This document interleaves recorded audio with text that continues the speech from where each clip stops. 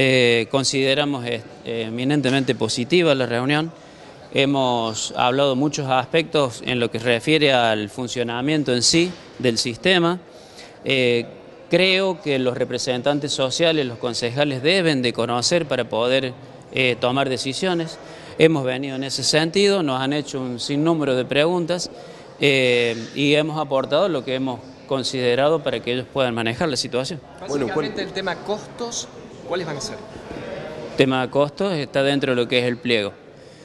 Sí, bueno, este, la idea de los costos, nosotros hemos establecido un presupuesto oficial que tiene que ver con un análisis de experiencias de otros municipios similares y también con, en conjunto con lo que es algunas clases tecnológicos, empresas privadas también, eh, en donde hemos establecido un valor de pliego y lo que nosotros vamos a hacer, sí, claramente, perdón, es trabajar con las cámaras o los puntos de captura activos. Es decir, este, esta licitación o este pliego tiene la modalidad que es innovadora de establecer un máximo de 200 puntos de captura, pero iniciar y pagar solamente por los que estén en funcionamiento, que en una primera etapa van a ser 80.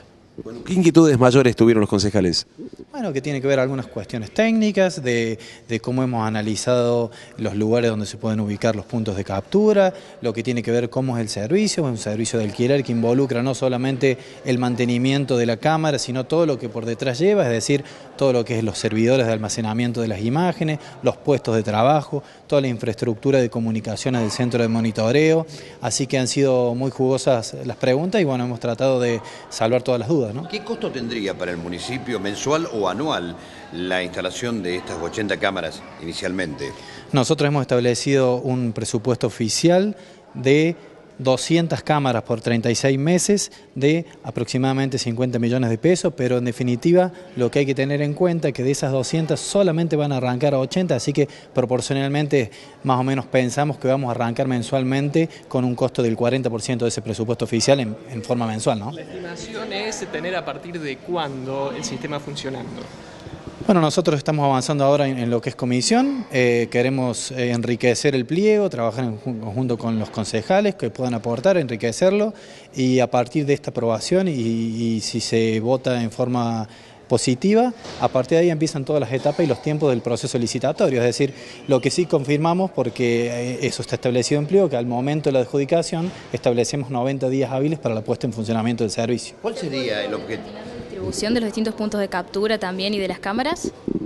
¿Cómo? Si se ha podido determinar lo que va a ser la distribución de las cámaras y los distintos puntos de captura. No, eso se hizo a principio de año. Eh, esto tiene una activa participación de la provincia, de la policía en particular. La seguridad pública de la ciudad es de la provincia, es de la policía. A los 80 lugares primero los eligió la policía conforme el mapa del delito y de conflictividad social los necesitábamos nosotros a esos puntos para el primer paso que fue el de conectividad, que es un pliego que ya salió y ya tiene un adjudicatario. Ahora esos 80 lugares tienen que ser cubiertos con, una, con el monitoreo en sí, que ahora lo provee esta otra parte de lo que es la licitación. ¿Cuándo estas 80 cámaras ya comenzarían a funcionar? Eh, calculamos nosotros si el Consejo nos acompaña y se respetan los tres meses, allá por marzo o abril del año que viene.